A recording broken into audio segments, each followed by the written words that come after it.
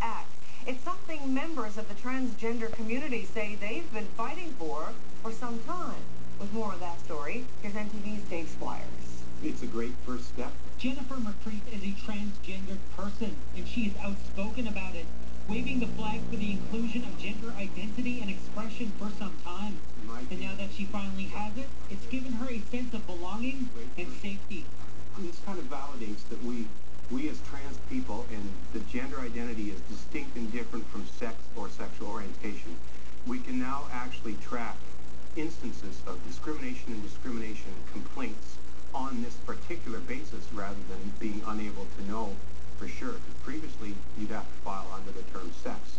Justice Minister Darin King said the amendment strengthens the Human Rights Act.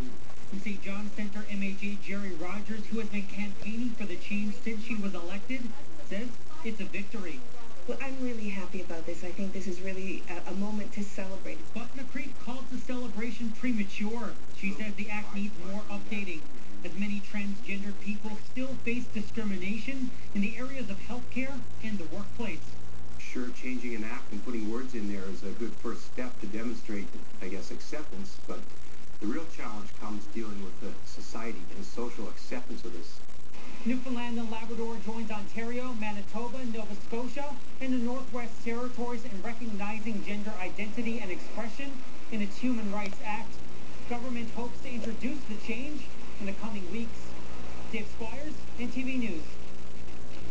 So business